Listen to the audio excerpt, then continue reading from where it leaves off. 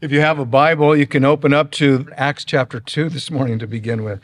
As you're turning to that, let me just remind you uh, two weeks ago, we talked about what are the marks of uh, the, the, the characteristics of a biblical church from Acts chapter 2 and a little bit from other places in Acts. And then last week, we talked about how the traditions of men can make void the word of God. The things that we add to what God's word says that aren't necessarily sinful, but they do become a problem when they become more important than what God's word says.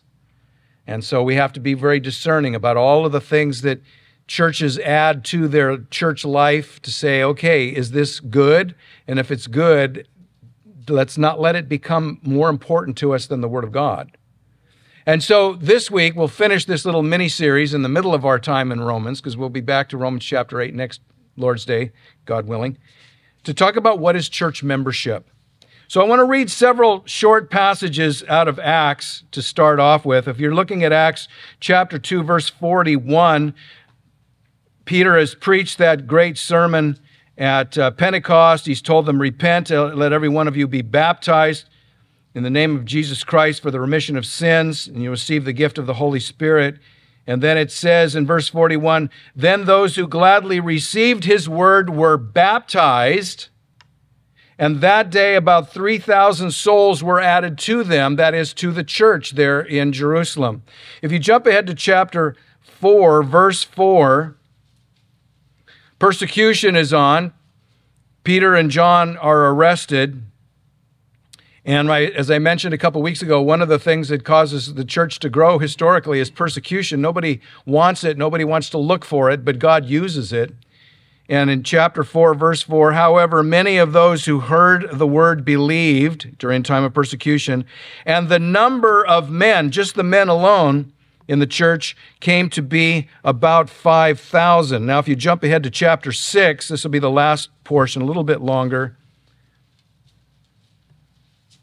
Chapter 6, verse 1 Now, in those days, when the number of the disciples was multiplying, the church was growing there arose a complaint. Wait a minute. Remember, we said one of the marks of a biblical church is a biblical church has problems. If you find a church that doesn't have problems, keep moving. Because it isn't a biblical church, because biblical churches have people in them. And part of our sanctification is learning to love one another the way Christ loves us, even when other people are stepping on our toes. So here the church is growing, and you think, oh, well, all is well and everybody's happy. No, there a complaint against the Hebrews by the Hellenists, that's the Greek Jews because their widows were being neglected in the daily distribution. Why do they get what we don't want or what we want and aren't getting? Of course, none of us have ever thought anything like that. Then the twelve summoned the multitude of the disciples and said, It is not desirable that we, the apostles, should leave the word of God and serve tables. Therefore, brethren, seek out from among you seven men of good reputation, full of the Holy Spirit and wisdom, whom we may appoint over this business. Some organization is being developed in this new church. But we, the apostles, later on would be applicable to the elders of the church. We will give ourselves continually to prayer and to the ministry of the word. And the saying pleased the whole multitude. The church together said, okay, that sounds good. And they chose Stephen, a man full of faith and the Holy Spirit, and Philip, Prochorus, Nicanor, Timon, Parmenas, Parmenas, uh, and Nicholas, a proselyte from Antioch, whom they set before the apostles. And when, when they had prayed, they laid hands on. There's something official going on here. Don't miss this. Then, after there was more organization to take care of the people in the church, then the word of God spread, and the number of disciples multiplied greatly in Jerusalem. And a great many of the priests, even the Jewish priests, were obedient to the faith. These are the words of the living God. You can be seated. Well, what I've just read to you are a few of the key passages that reveal a growing measure of organization in the early church that have long been recognized by biblical scholars as the formation of church membership. Add to these the simple fact that the vast majority of the books in the New Testament were not written to individual Christians to be read on their mountain retreat or on their lonely walks on the beach, but in the church. In the church. Uh, And what do they speak about? A lot of these books. They speak about things such as leadership in the church, structure in the church, even the necessity of church discipline, which reveals a measure of organization in the churches, which historically have been recognized the way you do these things is you have some sort of church membership. Now, some insist that the word membership is not in the Bible. Oh, it's not. Neither is the word Trinity, but we believe in that. Neither are fluorescent lights, but we depend on them. Uh, but beyond those kinds of defenses, are we not one body made up of many members united together? Let me read to you. It's a memory verse for many in discipleship. Romans chapter 12, verse 4 and 5. For as we have many members in one body, but all the members do not have the same function, so we, being many, are one body in Christ and individually members of one another. You say, well, that's symbolic. What's it symbolic of? It's symbolic of the unity, the connectedness, and indeed the membership of the Church of Jesus Christ. Now, a little history lesson. You know, some of us live in the past. Um, until the 1960s, now for some of you, that's ancient days. For some of you, you weren't alive. Some of us were. But until the 1960s, every kind of Christian church had some kind of membership. What changed in the 60s? Well, rank individualism. Nobody over 30 should ever be trusted. Remember thinking those kinds of things? when I get 30, stop trusting me. That's all I can say. Um, rank individualism that says, you know, we throw off all sorts of restraint, but it not only hit the cultures and particularly the campuses, but it was also the time of the rise in the church of non denominationalism, something that before the 1960s, that means for 1960 plus years, no one had ever heard of non denominationalism. And now it's a badge. What are you? I'm non denominational. What does that mean? Don't know, but I'm proud of it. What did non denominationalism build into the church? It's baked into the cake now. It introduced the abandonment of accountability of churches to anybody else other than them, their own church. So, as Protestants, you have little papacies dotting the map where the theology is based on what the pastor thinks. Does that sound like a good idea? It doesn't to me. That's why we're a confessional church. We look at we look at a historic confession of faith and say, no, this is what the Bible teaches, sort of topically. We won't get off into that, other than to say, Jim and I have been praying and talking. Probably in in the coming weeks, we're going to start introducing just reading a paragraph out of the confession each week as a as a doctrinal point for our church to always be anchored but back to the matter at hand. Not only did non denominationalism make a bunch of individual papacies with their individual popes everywhere who are answerable to no one unless God will kill them, which is not the best way to get rid of a pastor. Um, but it also, along with non denominationalism, giving individuality to the church, many of those churches became opponents of the concept of membership rank individualism. We're all just our own people. I'm just going to tell you my opinion. You could take it or you can leave it, but my opinion is this has hurt rather than helped the church. Regardless of how many people you lead to Christ, if you lead them to Christ but you don't lead them to understanding the church, you haven't helped the kingdom.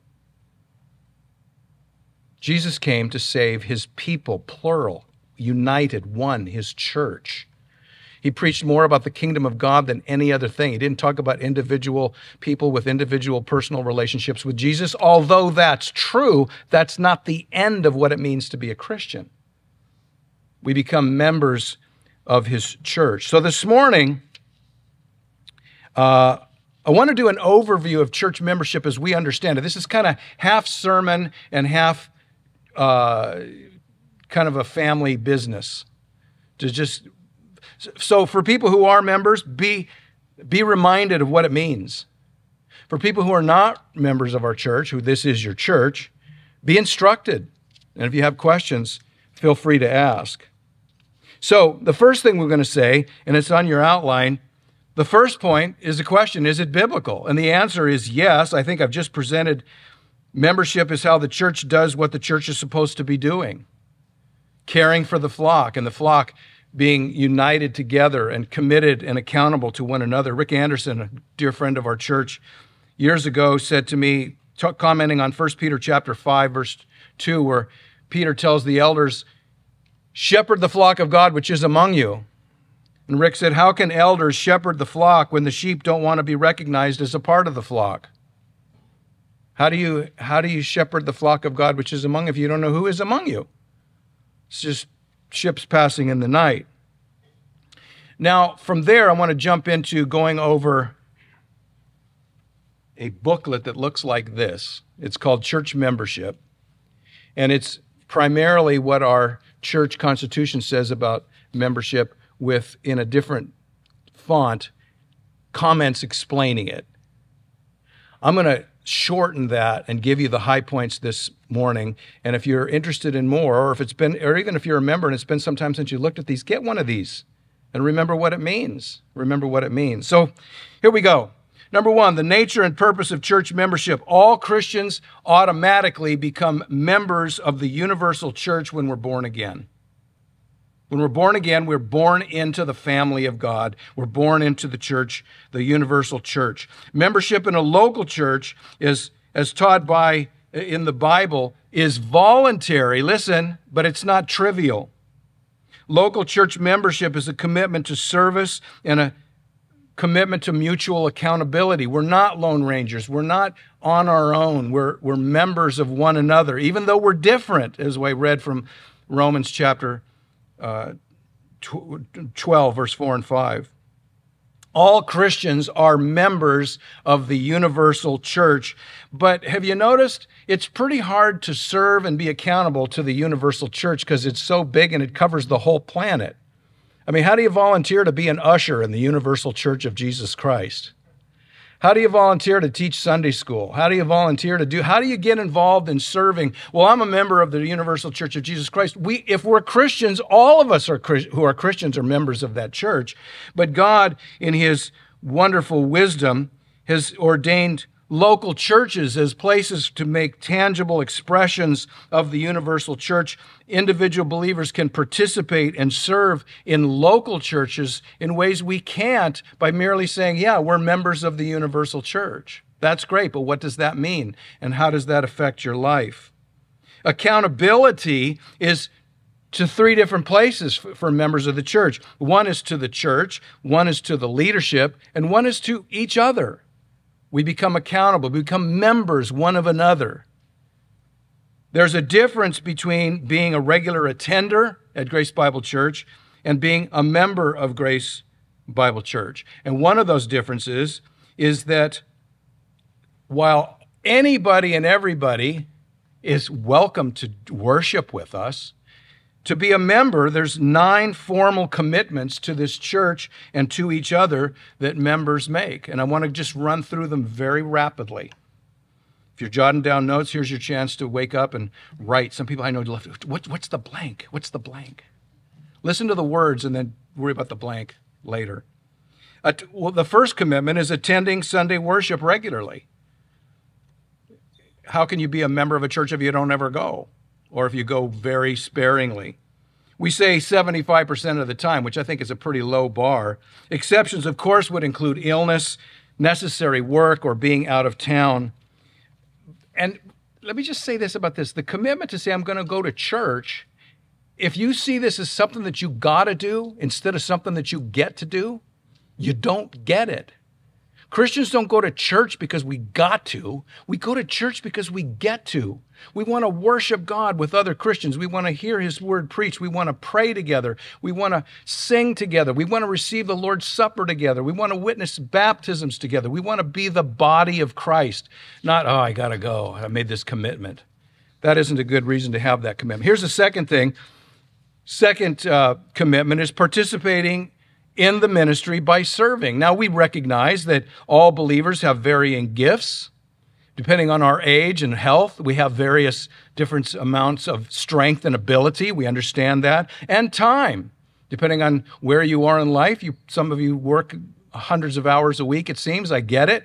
Uh, but recognizing that not all members of the church are going to serve in the exact same ways, members serve rather than merely attending in order to what? Be served. Members say, No, I want to be a part of this. It's not a cruise ship where you wait for the, the mint on your pillow at night. It's a warship, so grab an oar and pull. We work together. We work together as a body. Here's the third one members participate in the ministry through biblical giving. Biblical giving is regular, it's proportional, and according to Hebrews chapter 11 verse 4, it's offered in faith. Now we do teach that uh, that tithing is a biblical baseline, but it is not required for membership. I just want to give a little footnote to that. It was brought to our attention recently that something in our membership packet made at least some people feel as though, oh, tithing is required, as though we want to see your W 2s, you know. It was, it was clarified. We, we amended that to say, no, tithing is not required of members of this church. So set your heart at rest. Again, giving is not something you got to do, it's something you get to do to be a part of it. If you got to do it, you could keep it. God doesn't need your money. He doesn't need my money. He doesn't even need us.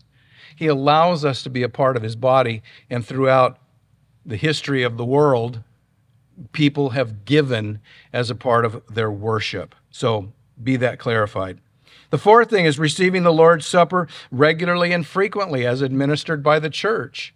Hopefully, you want to receive the Lord's Supper. If you're a believer in Jesus Christ, you should want to receive the Lord's Supper. And we administer the Lord's Supper twice a month on Sunday mornings, and you should want to be as a, a part of that. We've already uh, talked in previous times about being baptized, so we won't cover that. That's already understood. The fifth one is concurring with Grace Bible Church statement of faith.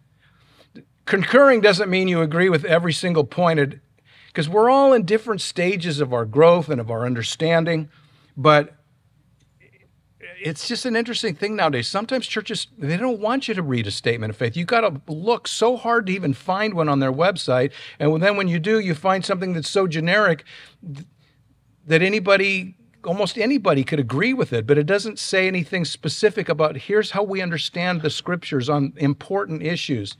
That's why, as I mentioned a little while earlier, a part of our statement of faith includes the London Baptist Confession of Faith, which is old, 1689. It gives us historic anchors to say we're not making this up as we go along. Um, so, and again, it's just pretty obvious. Well, I don't agree with anything the church teaches, but I want to be a member. Eh, probably not the best fit. Probably not the best fit. Number six, willingly submitting to the spiritual leadership of the elders of the church. Key words as they submit to God and the scriptures.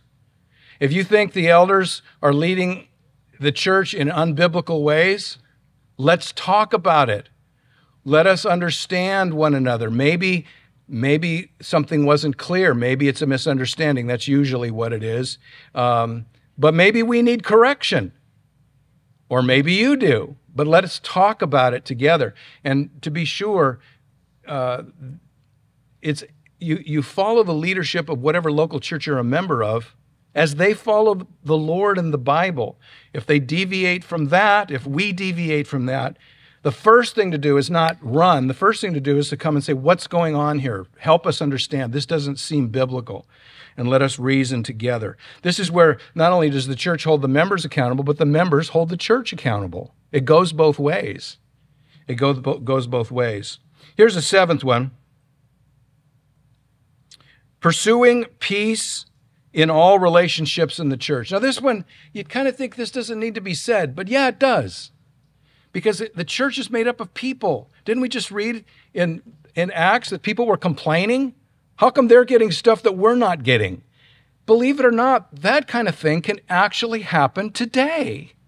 I know it's hard to stretch your imagination to get it wrapped around that, but things like that happen. But we, com- we covenant together as members of a church that we're going to pursue peace in all relationships within the church. This means speaking positively about the church. It means speaking positively about your leaders. It means speaking positively about one another.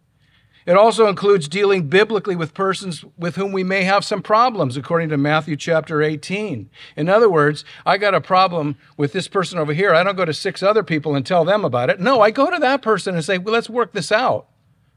We got to do things biblically as a church. And as members of a church, we make a commitment to say, yeah, we want to pursue peace in all relationships. And the way to do that is to do what God's word says. If you got a problem with someone, go to the person. If that doesn't seem to sort it out, ask for someone else to go with you. Not someone to help you gang up on the other person, but someone who's going to hold both of you accountable to be biblical and loving and to try to find common ground and to, to expose error if it's necessary. But we want to pursue peace uh, as best as we can. Number eight, promising to seek the counsel of elders regarding withdrawing membership and or changing churches before the decision is made. I will say that this is one that it's it's in the church covenant that you sign when you're members. Yes, this is part of it, and this is one that I I'm sorry to say, but nine times out of ten, people don't do this. They don't say, you know, we're kind of concerned about what's going on in our church here. It's a help, and you know, it's let's talk about it. Or maybe even we're concerned enough that we're contemplating maybe changing churches. Let's talk about it. Not sending an email that says, "Dear staff, we're attending a different church." You know, if we're supposed to shepherd the flock of God, which is among us, speaking to elders, 1 Peter chapter 5. How can we shepherd people with a major decision? Changing churches is, should be considered a major decision for a Christian. It's not to say you can never change churches because marriage is still death to us part, but church membership is not. Sometimes it's time to, to change. And but we want to say what are the biblical reasons? What are we doing? Is it a misunderstanding? Is there things that we can work out or whatever the case may be? But we can't help shepherd you or your family through a big decision if is all we get is an email saying we're not coming here anymore. So again, that's that's that accountability factor. Number 9, understanding that membership at Grace Bible Church is renewed annually. You know, even the Auto Club does this. Uh, of course, they give you a bill to renew you. We don't. We don't do that. But the concept is once a year, after someone becomes a member of our church, one or two of the officers of the church, maybe a deacon and an elder, maybe two elders, two deacons, whatever, will make an appointment to just sit down and say, How are you doing? How can we pray for you? How's your family doing? Are you do you feel connected with the church? Do you have questions about the church? How can we minister to you? So at least once a year, we we we really try to sit down with every member to say, How can we pray for you? How can we serve you better? Let us know. It's not to come and read you the riot act, it's to say, Now's your chance. Let us know how we can help you and better serve you. Uh, I will add a footnote to that. In defense of the officers of the church, sometimes they say, Well, we've tried and tried and tried and tried, and we either can't get an appointment made or when we do, it gets canceled. Help us out you've only got one appointment a year to make. these guys have sometimes several a month to make. So when someone gets says, "Hey, can we? It's time for your membership renewal." Let let your heart be ready to move heaven and earth to make that happen, so that it doesn't just get put off, put off, put off, put off. So there's there's that. Um, we haven't always done that, but when we started doing that, I'll just give you a little insight. Sometimes people would be drifting, and we really weren't aware of it. And then all of a sudden, it's like, wow, now for us to go and say what's going on, it looks confrontational. But if once a year we sit down with every member of the church and say, how can we pray for you? What's going on in your life? What's going on in your family? How's, how are things? Um, at least once a year we're doing a checkup to see how can we best serve you. That's the purpose of this. And we're not the only church in the world that does this. Honestly to be truthful when we first initiated this I didn't know of any, but I, I found out that uh, one of my daughters who lives in another city, their church does this too, and they, and being a PK preacher's kid, she's you know talks with the pastors and pastors' wives, and they say it is so hard to get people to make these appointments. We don't know anything about that. Anyway, um, next thing on the list: requirements and procedures regarding church membership. Before accepting a person as a member of Grace Bible Church, there's a few things, and we're not i didn't print all these in your bulletin so you can just listen if you want to learn more about these pick up one of these booklets or get a membership uh, application packet um, you need to be a baptized believer in jesus christ i mean baptism is not an option for the super saints baptism is required for christians so if you say i'm a christian but i'm not baptized well let's we'll fill the tank it's time you need to be a baptized believer in Jesus Christ. You need to be a believer in Jesus Christ, not just I like the people here, which would probably bring into question whether you're a good judge of character. But that's another story. That's another story. Number two, you got to be living a lifestyle that doesn't co- contradict your profession of faith. This doesn't say anything about being sinless, but if someone's living blatantly, openly in sin, let's address that together, and then we'll talk about membership. Demonstrate a commitment to the ministry here for a minimum of three months. That's pretty pretty short, I would say. But the idea is oh, I went to this church once, I really liked it. Where do I sign up? Give us a chance to offend you first. it happens. No, listen, when offense is given in a biblical church, and it happens, it's hardly ever done maliciously. It's done thoughtlessly. It's done with, without let us work it. Let us work through it. So in three months, there's got to be something that you don't like that you have to deal with, whether or not you like it still. Uh, that's not to try to discourage people. It's just to try to make sure we, you know, I mean, first date, let's get married. Maybe not so good. Demonstrate a commitment to the ministry of, oh, I said that three months. Be 18 years of age. You got to be 18 to be a member. And the reason why is because we don't want someone with 12 kids to tip the balance on voting. Kidding. Um, but uh, there are a couple things which we'll talk about in a minute that the membership votes on in our church. And um, you'll, when you hear what they are, you might be surprised. Uh, be 18 years of age for the purpose of voting, and then be willing to submit to the go- excuse me the government of the church. Do you, do you believe these elders are called by God to be elders of this church? That's important. And then apply by member apply for membership. It's very simple.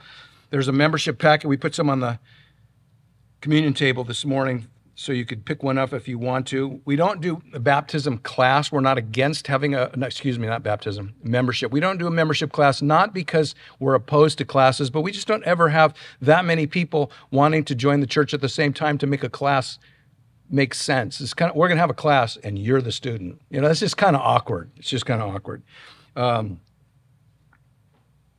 and then you interview with a couple of the elders and then if everything is good and we still like each other, uh, then you can become a member by submitting an application and then signing the roll sheet.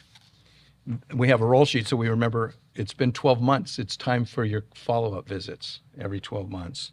Termination of church membership. Number three, membership can be determ- can be terminated in the following ways. A member can ask to terminate the membership. I no longer want to be a member. Please speak to us before you're deciding, maybe it's a misunderstanding that can be addressed. Membership may be terminated for non participation if appropriate efforts to restore fellowship and participation have failed. Someone doesn't ever come to church. After a while, we say, Do you still want to be a part of this church? And even if they say yes and they still don't ever want to come to church, we have to say, Well, maybe you should find a church that you want to attend. We don't want to be the, we don't want to be, oh, my church is this. I don't go there, but that's my church. So that's pretty simple, pretty straightforward. Um, Elders can terminate a person's membership as an act of discipline. If someone is habitually living in open, scandalous sin and won't repent, the Bible is very clear on this. In 1 Corinthians, particularly, but in other places as well. It's, it's, the point is not to get rid of people, the point is to call people to repentance and to help people.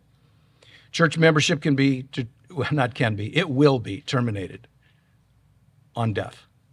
There are some churches who've got hundreds of people. The church has been around since the 1800s. They never take anybody off the rolls.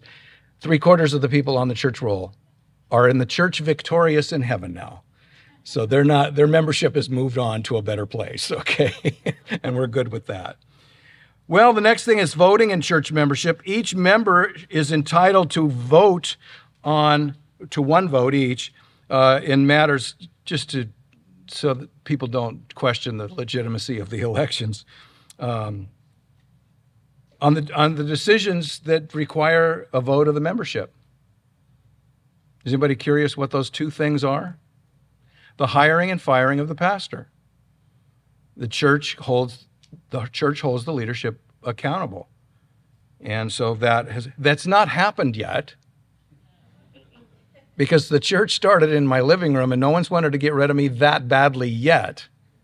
But I'm not getting any younger and some of you probably will be in the foreseeable future gathered together t- to vote on a, a new pastor.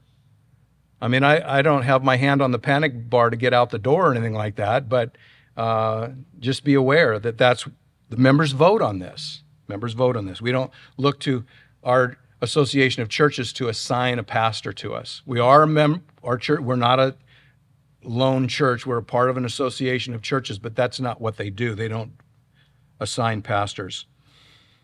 Number five, discipline and church membership. What it, this really is what does accountability look like? And there's more about this in the booklet called Church Membership than I'm going to go over here. I'm just going to hit some high points. The Bible is clear about the need to call members living in unrepentant state of sin to repentance. It's part of the job of the church to call, you know, it's not just looking for for sheep that have strayed, but for sheep that are staying in the pen and causing problems and living in sin. We don't come with guns blazing. We come to say, How can we help you? What's going on?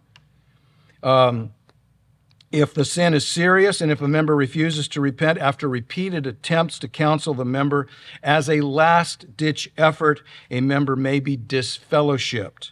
And the goal of this rare occurrence is not to get rid of sheep, but to follow what God's word says so that people will say, I need to repent. And then when people repent, they're restored to full membership. And just so you know, um, in 38 years, this church has gone to that last ditch effort, I think, five times. And in several of them, they have resulted in people repenting. See, what do you know? God's word was right once again. Shock, shock, shock. And when a person who has been disfellowshipped repents, open arms, we celebrate God has, has brought you to repentance. The church, the officers in particular, commit to shepherding the souls of members. We do much the same for those who are not members, but the level of commitment is not the same as it is for members. Why? Not because we love you less? No, because you haven't made a commitment to be a part of us. So our commitment is a little bit different to members than it is to those who are not. the commitment of members in return.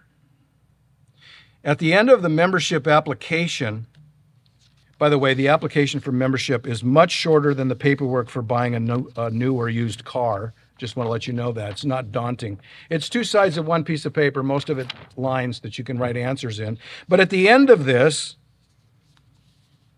at the end of this, um, there are there are points that you are making a commitment to do. Now, in olden days, when I was a little boy growing up in church, back before the dinosaurs were extinct, um, we called it a church covenant. I don't know if any of you grew up in a church that had church covenant. When you join the church, you covenant for certain things, and by signing, you're saying, "I'm I'm committing to these things." What are these things? Um, there are I flipped all these pages and I forgot where I was. Here it is. Good news is it's almost the end. Um, nine points, and there's no nothing to put the blanks in because I didn't want to weary you with that. But I'm just going to read through these things and make very small comment because most of them I've already mentioned. When you say I want to be a member of the church, here's what you're saying. Number one, I will faithfully attend the regular meetings of the church and special meetings called by the leadership. I want to be a part of this. If there's a family business meeting, I want to be there. I want to be there for worship. I will participate in the ministry of church by using my spiritual gifts in service. I'm not just here to get, I'm here to give. I will participate financially in the ministry of the church. That's what you give and how you give is between you and the Lord, but you're making a commitment. And by the way, on the uh, annual checkup, we don't say, show us your checkbook and your giving records. No. We just say, are you worshiping the Lord with your finances the way God would have you do it? And if you're good with that, we're good with that. I will receive the Lord's Supper regularly and frequently as administered by the church. This is more important than most people think nowadays. Most, most evangelical Christians have a very low view of the, of the Lord's Supper, and we shouldn't. This is something commanded by Jesus and given to us, and we need to take it seriously. And when the Lord's Supper is being administered, we, we want to do this as a, as a part of our worship. Number five, I agree with and embrace the church's, uh, Grace Bible Church's statement of faith, including the London Baptist Confession vision statement, and distinctives. I will submit to the spiritual leaders of the church unless conscience demands otherwise. In other words, you think we're doing something wrong, in which case I'll speak to the elders for the sake of clarity and mutual understanding, and I desire to be held accountable by the church, including church discipline if necessary. I will speak positively about the church, the leaders, and other congregants, and I'll seek to stop any talk to the contrary. You don't want the wildfire of gossip in a church. You want people who love one another, and the Bible says love covers a multitude of sins. It doesn't say love converses about a multitude of sins. We want to we want to go to one another and care. Uh, I will speak positively about the church leaders of the congregants and stop any talk to the contrary. I will deal biblically with persons with whom any problems may arise according to Matthew chapter 18, 15 through 17. I will seek the counsel of the elders regarding withdrawing my membership and or changing churches before a decision is made. We, our, our goal isn't to talk you out of it. Our goal is to shepherd you to make the best decision that you think God wants you to make.